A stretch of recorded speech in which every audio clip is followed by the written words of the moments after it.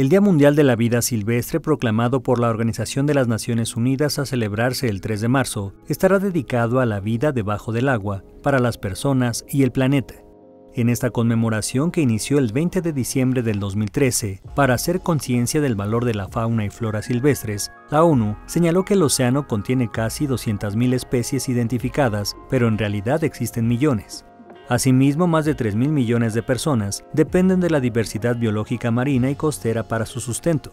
La fauna marina ha sido el medio de vida para la civilización y el desarrollo durante milenios. Ha suministrado alimentos y materiales para la artesanía y la construcción, además de enriquecer la vida de las personas desde un punto de vista cultural, espiritual y de ocio.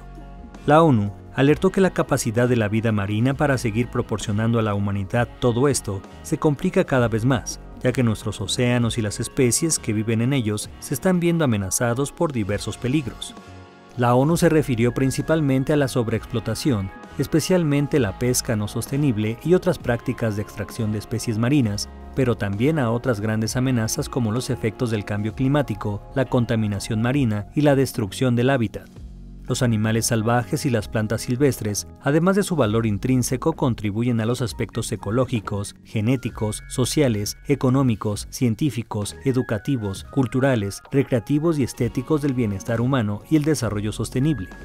La ONU detalló que el Día Mundial de la Vida Silvestre brinda la ocasión de celebrar la belleza y la variedad de la flora y la fauna salvajes, así como de crear conciencia acerca de la multitud de beneficios que la conservación de estas formas de vida tienen para la humanidad.